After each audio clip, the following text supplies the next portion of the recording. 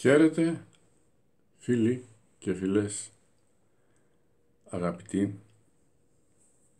Χαίρετε και όσοι μας κάνετε την τιμή να ακούτε την, την εκπομπή μας, να βλέπετε τα βίντεο και σας παρακαλούμε να τα στέλνετε και σε φίλους σας τα βίντεο αν νομίζετε ότι μπορούν να βοηθήσουν και αυτά σε κάτι. Εμείς κάνουμε μια μικρή προσπάθεια εδώ και τα αφήνουμε όλα στο Θεό. Δεν μπορούμε να κάνουμε τίποτα περισσότερο και τίποτα μεγαλύτερο από αυτό. Ό,τι, προσπαθ... ό,τι μπορούμε το καταδύναμη. Το καταδύναμη. Σήμερα το θέμα, γιατί κάθε φορά έχουμε ένα θέμα, το θέμα είναι σε ποιον Θεό πιστεύεις. Κοινότυπο, περίεργο, εσείς θα το κρίνετε. Υπό τη λέξη Θεός κρύβονται πολλά. Βέβαια ο Θεός αντικειμενικά ένας είναι. Αλλά να δούμε πώς πιστεύετε αυτός ο ένας Θεός στους διάφορους ανθρώπους και στις διάφορες φυλές, στους διάφορους λαούς, στις διάφορες εντός εισαγωγικών θρησκείες. Είναι όλες οι θρησκείες αληθινές, προφανώς όχι. Δεν μπορεί 20 θρησκείες που είναι στον πλανήτη να είναι όλες αληθινές. Κάποιες είναι σε λάθος δρόμο. Άρα, πες μου σε ποιον Θεό πιστεύεις για να καταλάβω κι εγώ πώς είναι ο Θεός σου. Εγώ ξέρω να σου πω πώς είναι ο Θεός Αλλά όλοι μας λένε πιστεύω στο Θεό. Αν τους εξετάσεις όμως, αν τους ρωτήσεις και πιο πολλά πράγματα, αντιλαμβάνεσαι βάσει ποιας πίστεως λένε αυτά που λένε και αν ανταποκρίνονται στην αλήθεια ή όχι. Αλλιώς πιστεύουν οι Ορθόδοξοι, αλλιώς οι Ισλαμιστές, το Ισλάμ, αλλιώς οι Βουδιστές, αλλιώς ο Παπισμός, αλλιώς ο Ιεχωβισμός, που λέγονται ότι είναι και αυτοί θρησκείες. Καταχρηστικά λέμε την Ορθοδοξία εμείς θρησκεία, διότι είναι εξ αποκαλύψεως Θεού. Και αυτό αποδεικνύεται από τον Ιησού Χριστό, ο οποίος είναι Υιός Θεού.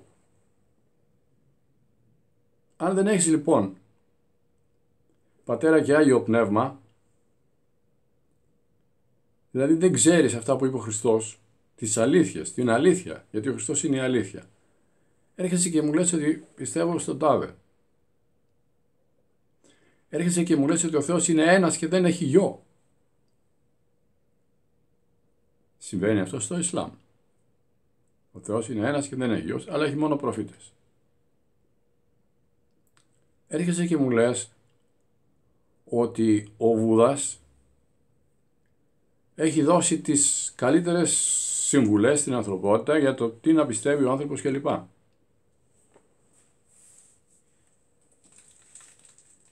Θεός είναι και εκεί. Θεός είναι και εδώ. Θεός είναι. Και στο δολάριο γράφει trust, we trust in God. Πιστεύουμε στο Θεό. Ελπίζουμε στο Θεό. Trust. Ερμηνεύτε το εσείς καλύτερα από μένα. Ποιο Θεό πιστεύει το δολάριο; Μήπως πιστεύει στο μαμονά; Γιατί υπάρχει και αυτός. Είπε ο Χριστός, όποιος δεν πιστεύει στο τον πατέρα μου, όπως σας τον εξηγώ εγώ ότι είναι ο πατέρας μου, ο Πανάγαθος, ο πατέρας των πάντων, που πληρεί τα πάντα, πανταχοπαρών κλπ. κλπ. Όπως οι ιδιότητες δηλαδή που μας δίνει για το Θεό ο Χριστός, δεν συμπίπτουν με τις ιδιότητες που μας δίνουν άλλοι. Και εμείς έχουμε δώσει πολύ μεγάλη σημασία στην ορθή πίστη. Διότι δίχως την ορθή πίστη δεν πάει κανείς κοντά στο Θεό, στον αληθινό Θεό. Άλλα μονοπάτια ακολουθεί. Ο Χριστός τι είπε, εγώ είμαι η μόνη οδός. Δεν είπε η μόνη, είμαι η οδός. Αυτό το η, τι κάνει, μας δείχνει ότι δεν υπάρχουν άλλοι δρόμοι. Και υπάρχουν ορθόδοξοι δυστυχώς, το έχουμε ακούσει, όχι πολύ βέβαια, που λένε ότι ο Θεός είναι σε την κορφή ενός βουνού και πολλά μονοπάτια οδηγούν στο Χριστό, στο Θεό. Πολλά μονοπάτια οδηγούν στο Θεό. Δηλαδή τότε η αποκλειστικότητα της οδού του Χριστού που είναι η οδός για τον Πατέρα απορρίπτεται και είσαστε ορθόδοξοι. Πόσους αγώνες έκανε η Ορθοδοξία για να, για να βγάλει αυτό το όνομα που θα πει η ορθή πίστη. Δεν αρκεί λοιπόν να λέμε πιστεύω στο Θεό, αλλά να έχουμε και την ορθή πίστη στο Θεό. Όταν μια άλλη θρησκεία σου λέει διέδωσε την, την πίστη στο Θεό δια και σιδήρου, σκότωνε τους απίστους. Όποιος σου φέρει αντίσταση ή όπου πας, αυτό που κάνανε το Ισλάμ στην αρχή, όσους δεν σκοτώσανε στις μάχες που κάνανε για να επικρατήσουν και κυριαρχήσανε, τους λένε εντάξει δεν θα σας σκοτώσουμε τώρα, αλλά θέλουμε να πιστεύετε στο Μωάμεθ. Και θέλουμε, όσοι δεν πιστεύετε, πάλι δεν θα σας σκοτώσουμε, αλλά δεν θα έχετε περιουσία. Αυτή ήταν έμεση εκβιασμή για να εξαπλωθεί, όπως εξαπλώθηκε κιόλας ο μαμεθανισμός. Έτσι ο Χριστός είπε στους μαθητές να ξαπλώσουν την πίστη του Χριστού, διαπυρός και σιδηρού. Τους έδωσε άλογα και ξύφη, όπως οι Άραβες. Για τους είπε θα κάνετε θυσία και εγώ θα ακολουθώ από πίσω και να κάνετε τη θυσία του εαυτού σας εσείς και εγώ θα σας συντηρώ. Μέχρι που όλοι τους είπε ό,τι κάνανε σε μένα θα κάνουν και σε εσάς. Τους είχε προειδοποιήσει τους μαθητές τους, τους Αποστόλους. Λοιπόν, ποια είναι η αληθινή θρησκεία; Αυτή που μεταδόθηκε για τις βίας, για το ξύφους, με το, με το τσεκούρι και, το, και τη φωτιά ή αυτή που μεταδόθηκε με την πυθό; Κρίνεται λοιπόν. Μήπως σήμερα δεν υπάρχουν σέκτες που έρχονται με πονηρό τρόπο και σας λέμε, μας λένε ότι είναι χριστιανοί μάρτυρες του Ιαχωβά. Από πού ως που χριστιανοί είναι αυτοί οι μάρτυρες του Ιαχωβά; Καμία σχέση δεν έχουμε με τον χριστιανισμό. Έχουν ένα, ένα Χριστό τελείως παραμορφωμένο. Μας λένε ότι σταυρώθηκε και το σώμα του μετά τη σταύρωση έγινε αέρια. Μέσα στα βιβλία τους είναι αυτά. Να ακούσετε και να διαβάσετε βιβλία του πατέρα Καντιώτη και του Σωτηρόπουλου που κάνουν αυτές, αυτή τη δουλειά, δηλαδή να πληροφορούν εμάς τι είναι η κάθε θρησκεία που εμφανίζεται εδώ, για να ξέρουμε τι είναι. Και να μην μας λένε αυτοί ότι έτσι πως τα λέμε εμείς είναι. Έχουν τη δική τους προοπτική. Μιλάνε για Χριστό, αλλά έναν Χριστό παραμορφωμένο που δεν είναι Χριστός μοιάζει περισσότερο με τον αντίπαλο του Χριστού, με τον αντίχριστο δηλαδή, παρά με τον ίδιο τον Χριστό. Κι όμως, τον επουλάνε στην αγορά για Χριστό. Γιατί; Γιατί είναι εταιρείες. Ξέρετε ότι είναι εταιρεία η Σκοπιά.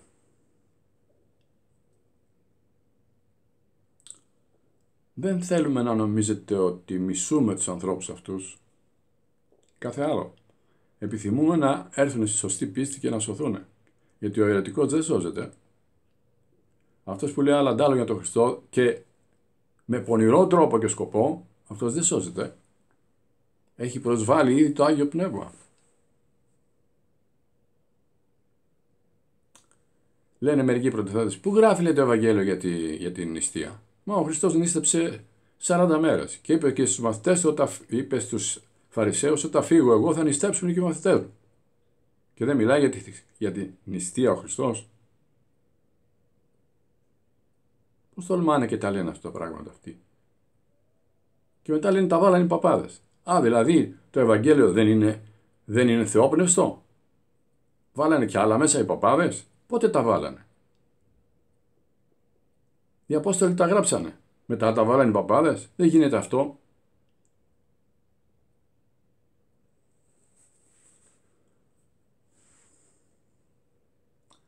Πρέπει να εξηγούμεθα λοιπόν. Αλλιώς πιστεύουν οι Ορθόδοξοι, αλλιώς οι Ισλαμιστές, αλλιώς οι Βουδιστές, αλλιώς οι Ορθόδοξοι και έχουμε και τον τριαδικό Θεό εμείς, τον οποίο δεν έχουν άλλοι, Πατέρα, Υιό και Άγιο Πνεύμα, έχουν και οι παπικοί. Αλλά και αυτοί κάπου στραβώνουν αλλάζουν το πιστεύω. αυτό που έγινε η Οικουμενική Σύνοδος με 318 πατέρες, το άλλαξε ένας άνθρωπος. Ο πρώτος αιρετικός πάπας. Και δεν έτρεχε τίποτα.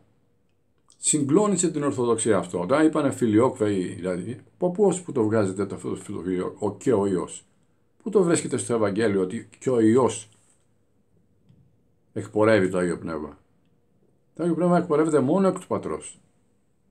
Λεπτομέρεια; Όχι. Δεν είναι λεπτομέρεια. Αλλάζουν όλα τα συστήματα μετά. Αλλάζει όλη η πίστη. Γι' αυτό οι Άγιοι Πατέρες μας είπανε να ξέρετε την πίστη σας. Να ξέρετε το πιστεύω. Καλά, σωστά. Θα το κάνουμε μια μέρα, το πιστεύω σιγά και αναλυτικά κατά δύναμη βέβαια. Αλλά όποιος δεν πιστεύει πατέρα, Υιό και Άγιο Πνεύμα είναι εκτός σωτηρίας. Θα μου πείτε τι θα γίνουν τόσα εκατομμύρια και αυτοί είναι ένα δισεκατομμύριο αυτοί που δεν πιστεύουν στον Χριστό. Αυτός θα το εκτροπήσει ο Θεός αλλιώς. Παράδεισο Χριστού δεν θα δούνε. Θα δούνε άλλες καταστάσεις. Μπορεί να φερθεί επίοικος που λέει ο λόγος. Ο Νικόλαος Σωτηρόπουλος, ένας από τους μεγαλύτερους θεολόγους του 20ου αιώνα, μαζί με τον Αυγουστίνο Καντιώτη, τον πατέρα Αυγουστίνο, τον Άγιο αυτό άνθρωπο, λέει ότι θα φάνε και αυτοί από τα φύλλα του δέντρου του παραδείσου, όχι από τους καρπούς. Ποιοι Άγιοι τα λένε αυτά, κάποιοι Άγιοι τα λένε αυτά. Δεν τα βγάζει ο Σωτηρόπουλος από το μυαλό του ο συγχωρεμένος και τα γράφει στα βιβλία του. Στο Χριστό θα πάνε εκείνοι που αγαπάνε τον Χριστό, που τον θεωρούν το μοναδικό του σωτήρα. Όχι δύο σωτήρες και τρεις σωτήρες, δεν υπάρχουν. Να έχουμε υπόψη μας λοιπόν, για να ξεδιαλύνουμε το πράγμα, δεν αρκεί να λες πιστεύω στον Θεό, αλλά σε ποιο Θεό πιστεύεις και να πούμε και το πιο φρικτό, που σαλεύει και το μυαλό του ανθρώπου. Οι σατανιστές ξέρετε τι λένε, ξέρετε τι λένε. Οι σατανιστές λέει πιστεύουμε στο Θεό μας και κάνουμε οτιδήποτε να τον ευχαριστήσουμε.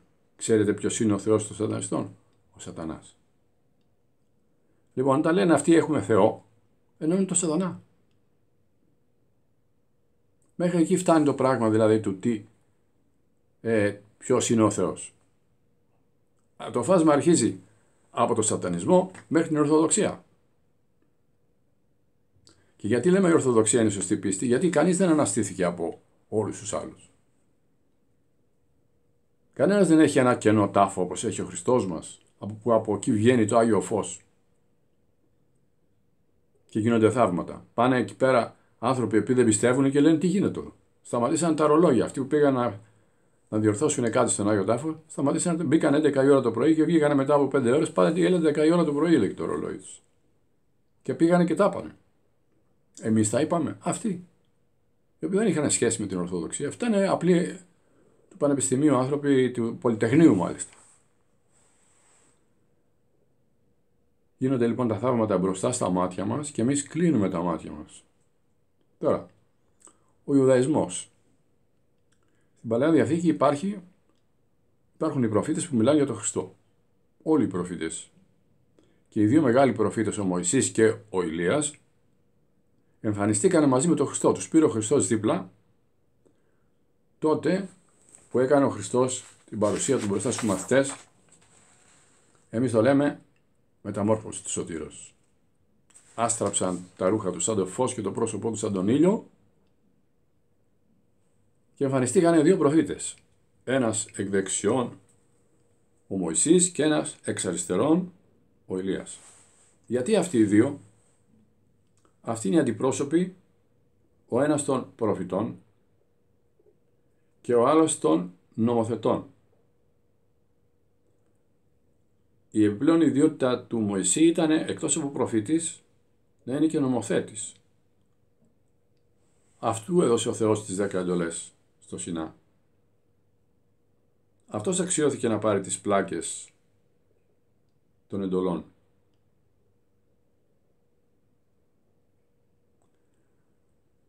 Σπουδαίος είναι και ο, ο Ηλίας γιατί ο Ηλίας πολέμησε την αίρεση του Βάλ.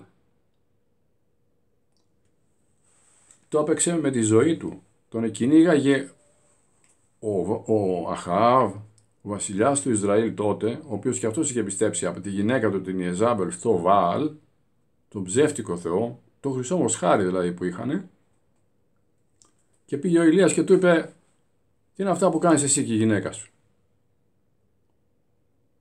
Φέρατε άλλους θεούς στο Ισραήλ; Εμείς δεν έχουμε εδώ τους, τον Θεό των πατέρων μας, του Αβραάμ, του Ισαάκ και του Ιακώβ.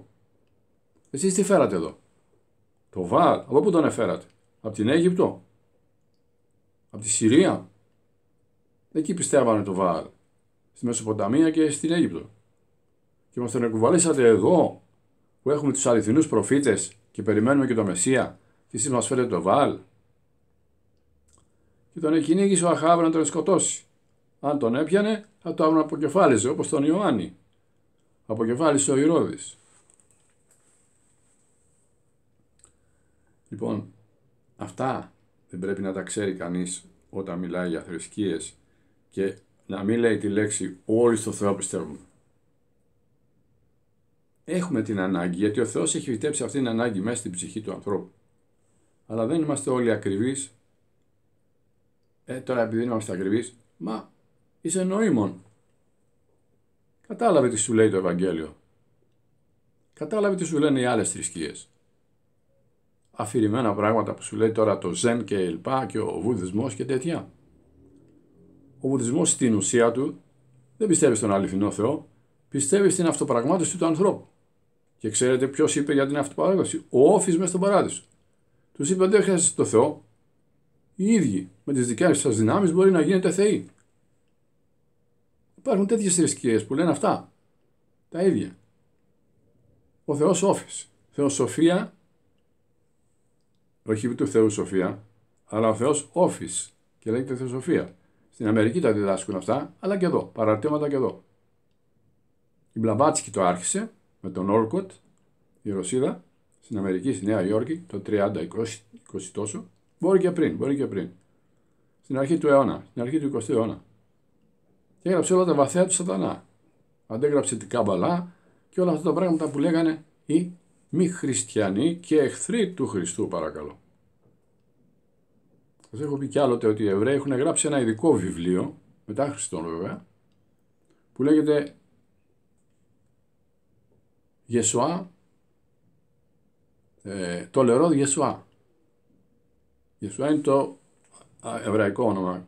Εμείς παίρνουμε το όνομα πάντα της Καινής Διαθήκης που τον εγγράφουν όλοι οι Ευαγγελιστές Ιησού, διότι είχε επικρατήσει η ελληνική γλώσσα και ονόματα όπως Μωσέ, Μωυσής στα ελληνικά. Ηλί, Ηλίας. Ελισέ, Ελισέος. Ελιζέ.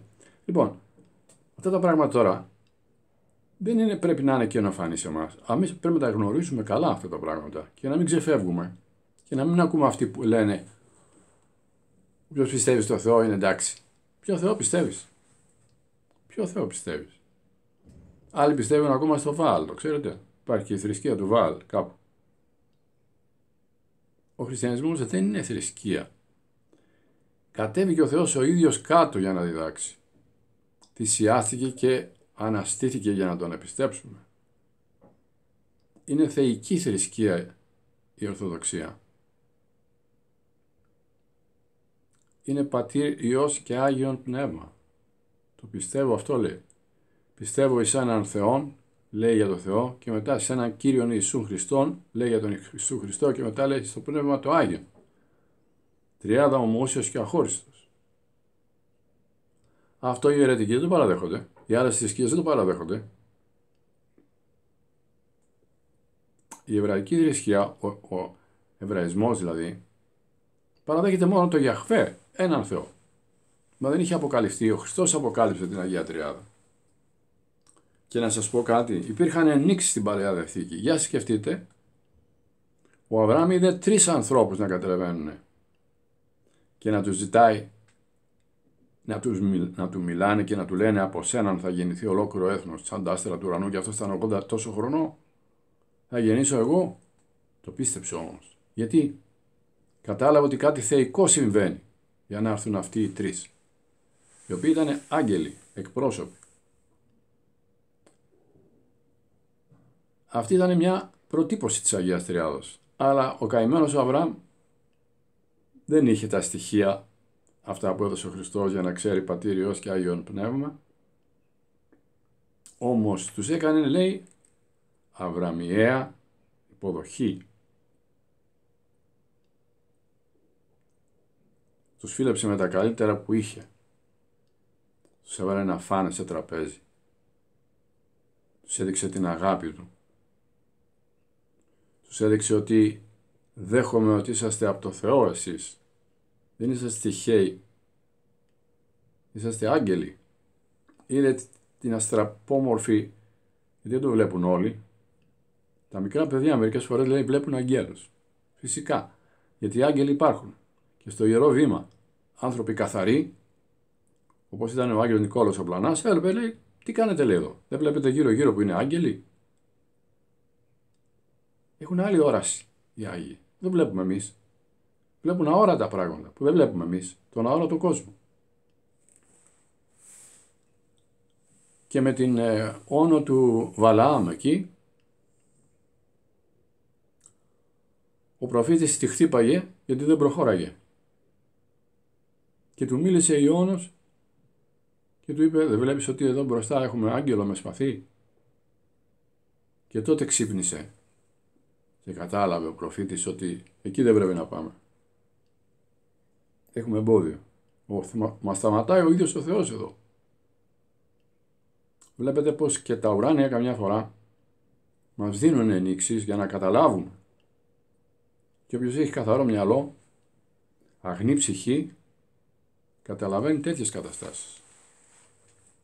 Τα παιδιά λέει βλέπουν μερικές φορές τους παπάδες την ώρα που λειτουργούν και υπερίπτανται. Μαμά, ο παπάς δεν πατάει κάτω. Τι λες παιδί μου, πάψε, μην κάνεις φασιάρι. Μαμά δεν πατάει κάτω. Πώς το βλέπει το παιδί αυτό; Και εμείς δεν το βλέπουμε.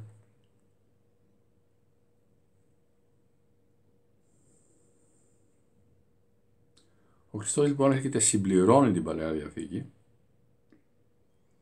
και από μονοθεϊσμό του Ιαχβέ, που είναι ο πατήρ βέβαια, μιλάει και για τον Υιό και για το Άγιο Πνεύμα. Και έτσι διαχωριζόμαστε από την Παλαιά Διαθήκη με αυτόν τον τρόπο. Παίρνουμε ό,τι υπάρχει στην Παλαιά Διαθήκη για τον Χριστό και τα ιστορικά της στοιχεία τα βλέπουμε κάπως διαφορετικά από ό,τι τα βλέπουν οι ίδιοι που είναι μονοθεϊστές. Υπάρχει τρόπος να ερμηνεύσεις την Παλαιά Διαθήκη. Η Παλαιά Διαθήκη είναι ένας καθρέφτης. Είναι ο πρώτος όροφος, έλεγε κάποιος, για να χτιστεί επάνω η Καινή Διαθήκη.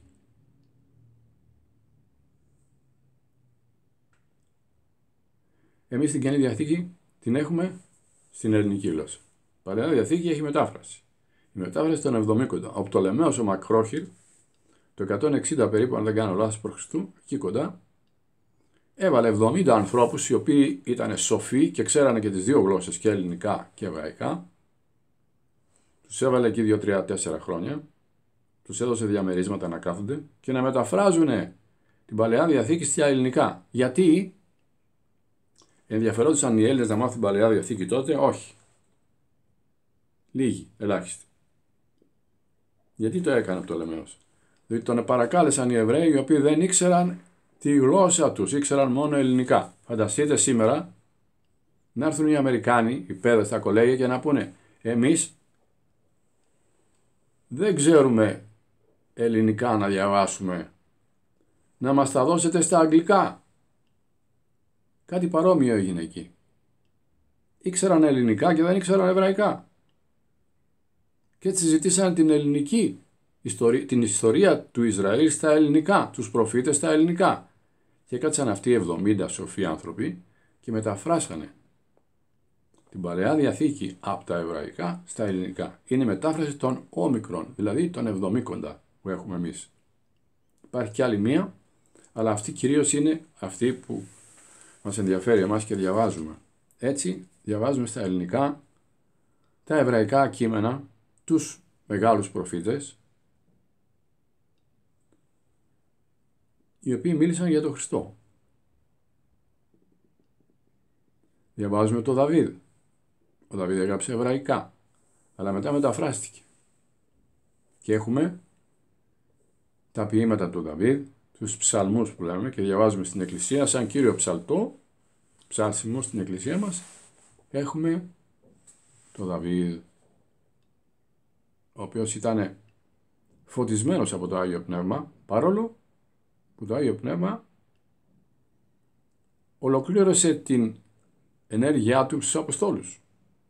Μόνο οι Απόστολοι έλαβαν ολόκληρο το Άγιο Πνεύμα για να μπορούν να διδάξουν. Και αυτό όχι όπως ο Χριστός βέβαια που είχε πάντοτε το Άγιο Πνεύμα και το είπε και ο, ο... Και το είπε ο Ιωάννης όταν είδε τον Χριστό λέει αυτού το Άγιο Πνεύμα είναι δεν είναι όπως εμάς που παίρνουμε αναλαμπές κάπου κάπου και στους προφήτες τους παλαιούς αλλά είναι συνεχώς, είναι κυρίαρχος. Με το Άγιο Πνεύμα είναι Θεός και αυτός όπως και το Άγιο Πνεύμα, Θεός και Πατέρας. Ο Χριστός έρχεται και συμπληρώνει την Παλαιά Διαθήκη και την ολοκληρώνει. Εμείς οι Ορθόδοξοι δεν απορρέπτουμε την Παλαιά Διαθήκη, αλλά μας ενδιαφέρει ο Χριστός, ο Λόγος του Χριστού. Αν και η Παλαιά Διαθήκη στοχεύει στον Χριστό, περιμένει το Μεσσία. Πολύ παράξενο. Εκείνοι που περίμεναν το Μεσσία να τον εχάσουν και να τον ευρούμε εμείς οι Έλληνες. Προπητεύει πολύ καθαρά τον ερχομό του βίου του. Αλλά λέει ο Απόστολος Παύλος, για να πούμε και αυτό, ότι θα υποκύψουν κάποτε και οι Εβραίοι σε αυτό το πείσμα που έχουν εναντίον του Χριστού και θα γίνουν χριστιανοί και αυτοί. Οι Έλληνες δίχως προκαταλήψεις και διαστροφές είδαν καθαρά το φως του Χριστού, που άλλοι φανατικοί λόγω διαστροφής και μίσους που είχαν εναντίον του Χριστού δεν το είδαν. Οι Έλληνες δέχτηκαν τον Χριστό ανεπιφύλακτα. Πριν ο Χριστός αποκαλυφθεί και φανερωθεί ως ενανθρωπίσας θεάνθρωπος, έδινε νήξη στην περίοδο της Παλαιάς Διαθήκης σε προφήτες και τον γνώριζαν. Ο Μωυσής θα μπορούσε να αντιληφθεί την τριαδικότητα του Θεού, δεν το αποκαλύφθηκε όμως στο Σινά. Μια ανοίξη έγινε στο Άγιο, στον Άγιο Γεδίκο Πατριάτη των Εβραίων τον Αβραάμ, όπου εκεί εμφανίστηκαν όπως σας είπα οι τρεις άγγελοι και του μίλησαν και του υποσχέθηκαν τους απογόνους τους και να γεννήσει παιδιά και πράγματι γέννησε παιδιά ο Αβραάμ ε, όπως ξέρουμε. Πίστεψε στα λόγια των, αποστόλ, των απεσταλμένων του Θεού. Άλλοι λένε ότι είναι η Αγία Τριάς, όπως μπορεί ο άνθρωπος να τη δει. Δηλαδή πώς θα τη δει; Όταν ο Θεός είναι αόρατος δεν πρέπει να πάρει μια μορφή ας πούμε για να τη δει. Ο Δαβίδ για Αγίου Πνεύματος μίλησε προφητικά για δύο κυρίους. Τους το είπε ο Χριστός. Για λέει, ελάτε εσείς σοφοί του Ισραήλ να μου εξηγήσετε τι λέει ο Δαβίδ εδώ. Τον παραδέχεστε το Δαβίδ. Ω, βέβαια. Τον παραδέχομαι. Τον παραδεχόμαστε, είπαν αυτοί. Γιατί έχει δύο κυρίους. Είπε ο κύριος στον κύριο μου. Ποιοι είναι αυτοί οι δύο κύριοι; Του κλείσανε το στόμα τους και φύγανε. Γεια σας. Τι να απαντήσουν; Τι να του πούνε; Ότι ο ένας είναι ο Μεσσίας και ο άλλος είναι ο Θεός. Ο ένας είναι ο λόγος του Θεού και ο άλλος είναι ο Θεός πατέρας. τους έδειχνε οφθαλμοφανώς ότι είναι Θεός ο Χριστός με αναστάσεις που έκανε και την Ανάσταση τη δική του και ακόμα δεν μπόρεσε να πείσει τη μάζα του λαού παρά λίγους μέσα στο Ισραήλ. Ο Δαβίδ λοιπόν μίλησε δι' Αγίου Πνεύματος. Και ο Ηλίας δι' Αγίου Πνεύματος κατά τρόπος στις 250 ψευδοπροφήτες του Βάλ, του σατανικού θεού Βάλ. Θεό τον έλεγανε κι αυτοί. Ο Θεός λέει είναι ο Βάλ, ο Θεός. Τι λέτε, για να δούμε τώρα τι θα γίνει. Θα κατεβάσει φωτιά από τον ουρανό ο Θεός σας ή δεν θα κατεβάσει; Για να δούμε. Βάλανε δύο σφάγια, σφαχτά δηλαδή πάνω στα ξύλα και προσευχόντουσαν ή του Βάλ να κατεβάσει ο Θεός φωτιά, πέντε ώρες δεν μπόρεσαν. Και ο Ηλίας μόλις έκατσε και προσευχήθηκε λίγο, 10 λεπτά, 20 λεπτά, μισή ώρα, δεν ξέρω πόσο, ας πούμε δεν τα γράφει αυτά, προσευχήθηκε ο Ηλίας και ήρθε ένας κεραυνός και έπεσε πάνω στο σφάγιο του Ηλία και το έκανε κάρβουνο. Αφού το είχε βρέξει προηγουμένως ο Ηλίας για να μην λένε ότι ήταν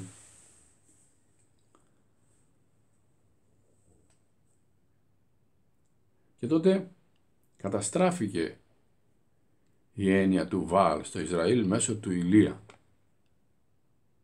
Αλλά επειδή ο Ηλίας έριχνε κεραυνού συχνά και πυκνά, ο Θεός τον επήρε. Δεν τον εθανάτωσε. Δύο άνθρωποι όπως λέμε δεν έχουν γευτεί θάνατο. Δύο.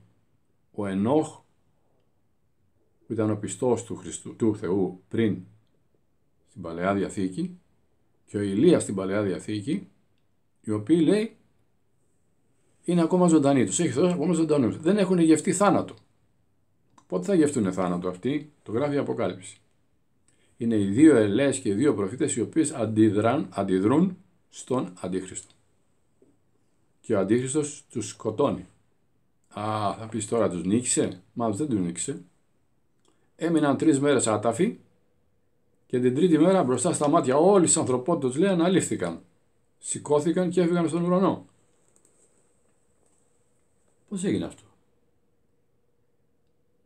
Ο Θεός το έκανε. Ασφαλώς.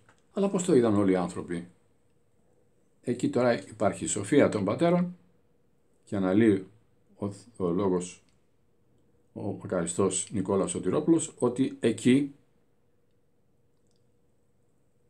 καταλαβαίνετε ότι μιλάει για την κινηματογραφική τέχνη, τη φωτογραφία ή την τηλεόραση. Γιατί δεν μπορούν αλλιώς να τους δίνουν όλες οι γλώσσες, όλοι οι λαοί, όπως λέει η Αποκάλυψη, όλοι οι άνθρωποι δηλαδή της ανθρωπότητας τους είδαν αυτούς. Άρα υπήρχε κάποιο μέσον. Και επειδή είναι τα έσχατα, βλέπουμε ότι τώρα ήδη υπάρχει αυτό το μέσο. Να που και η Αποκάλυψη, γι' αυτό λέω να διαβάζουμε την Αποκάλυψη. Διαβάσουμε πρώτα όλο το Ευαγγέλιο και μετά την Αποκάλυψη και να δούμε. Τι κάνει; Μιλάει για την τηλεόραση. Μιλάει για το Τσέρνομπιλ. Είπαμε σε άλλες εκπομπές και το αναλύσαμε για το Τσέρνομπιλ πώς είναι. Θα μας τύχει πάλι ο λόγος να το ξαναπούμε. Όταν έγινε το περιστατικό με τον Ηλία, ο λαός έπεσε πάνω στους ψευδοπροφήτες και τους, τους έσφαξαν.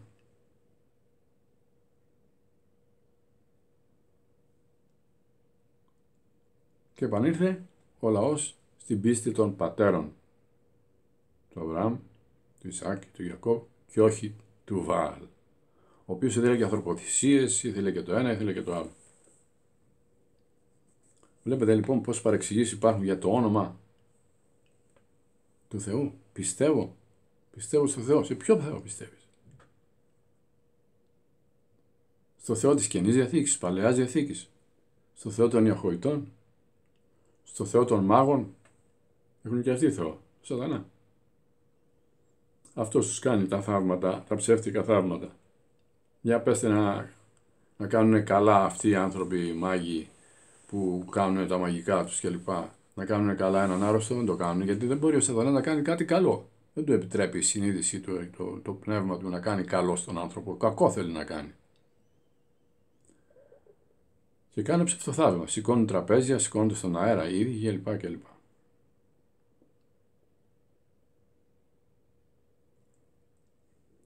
Η Ορθοδοξία πιστεύει πως αν δεν γνωρίζεις την αληθινή πίστη, τον αληθινό δρόμο που χάραξε ο Χριστός, δεν θα φτάσεις στο Θεό Πατέρα. Γιατί ο Κύριος είπε εγώ είμαι ο οδός, εγώ είμαι ο μόνος δρόμος. Βγάλετε τώρα δικά σας συμπεράσματα για τους πολλούς δρόμους που λένε οι άλλοι ότι πάνε και αυτοί στην κορυφή. Νομίζω ότι είναι μια προπαγάνδα εναντίον της ορθής πίστεως. Ε, ο Θεός σου λέει να κάθεσαι σταυροπόδι για να σωθείς, να κάνεις γιόγκα και ζεν. Αυτή είναι η αυτοθέωση και αυτές είναι οι εντολές του Θεού, να γίνουμε Θεοί μόνοι μας ή να παρακαλάμε το Θεό σε κάθε βήμα μας να μας φωτίζει να κάνουμε το σωστό. Όπου παίρνουμε δύναμη από την προσευχή. Τι θα πει προσευχή, παρακαλάμε το Θεό να μας δίνει δύναμη. Οι βουδιστές δεν παρακαλάνε το Θεό, παρακαλάνε λέει το εγώ τους, το, το, το εσωτερικό τους, λέει τον ανώτατο εαυτό τους. Δηλαδή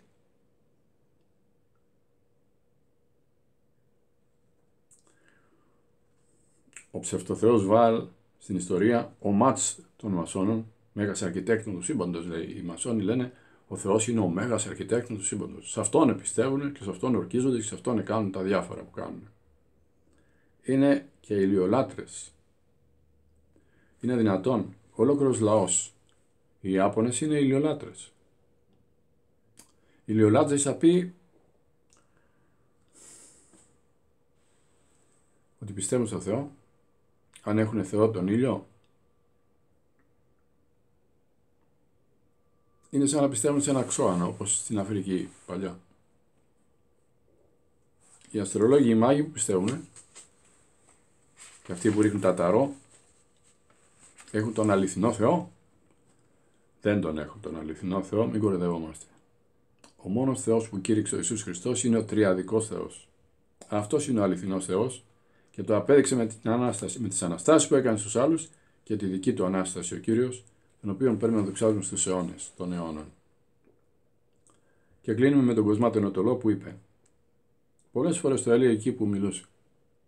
Αδελφοί μου λέει, ο Ισαπόστολος Κοσμάτος Ενωτολός, είδα εγώ όλες τις πίστες των ανθρώπων και είναι κάλπικες, εκτός την πίστη του Χριστού και της Ορθοδοξίας που είναι η αληθινή πίστη.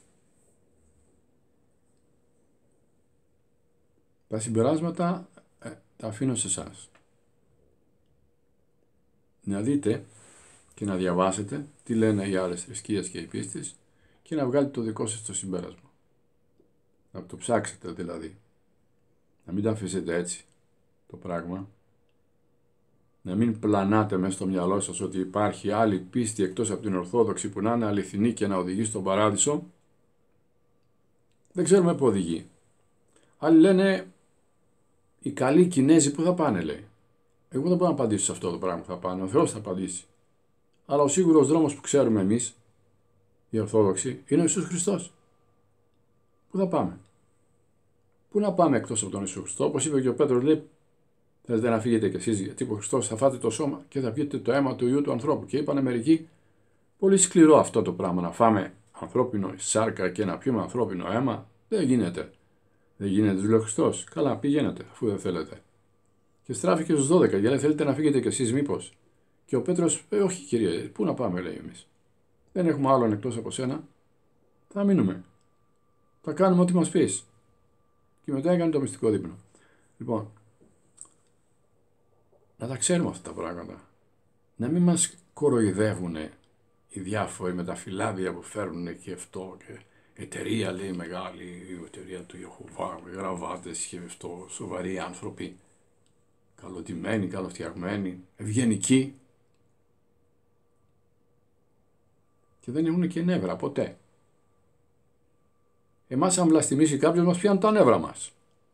Γιατί πιστεύουμε. Αυτοί που δεν πιστεύουν τι νεύρα να έχουν.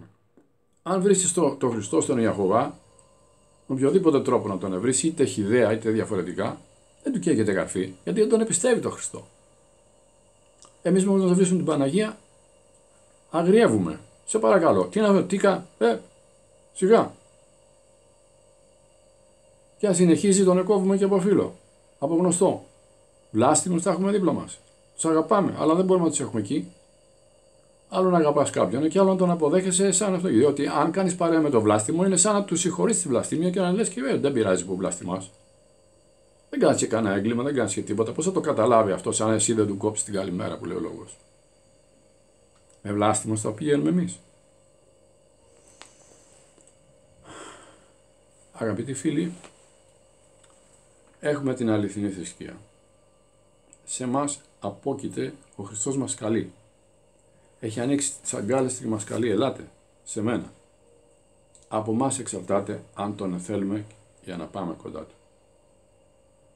Και αν τον θέλουμε και προσπαθήσουμε και μπούμε στην εκκλησία του και στα μυστήριά του, ε, τότε πιστεύω ότι θα μας κάνει και μας συγκάτοικους στη βασιλεία του. Να ζητάτε πρώτα τη βασιλεία μου λέει και μετά τα άλλα, γιατί ζητάμε και άλλα εμείς. Ξέρετε τι σας λέω. Περισσότεροι ζητάνε υλικά πράγματα στο Θεό και προσέχονται. Είναι να παντρέψεις το παιδί τους. Καλά είναι και αυτά, δε. Εντάξει. Αλλά το κυριότερο ποιο είναι; Να κερδίσουμε τη Βασιλεία του Θεού. Αυτή είναι η επιτυχία σε αυτή τη ζωή. Να μπορέσουμε να μπούμε μέσα στους Αγίους, μέσα στον Παράδεισο του Χριστού. Και εκεί μετά έχουμε την αιώνια ευτυχία κοντά στον Χριστό. Δεν χρειάζεται τίποτα άλλο. Αυτό και μόνο είναι αρκετό. Υπέρα αρκετό. Αυτό φιλοδοξούμε, αυτό πιστεύουμε, γι' αυτό αγωνιζόμαστε, γι' αυτό μιλάμε. Να είστε καλά λοιπόν, συμπληρώσαμε την ώρα και παραπάνω. Να είστε καλά μέχρι την επόμενη μας εκπομπή. Χαίρετε, χαίρετε εν Κύριο.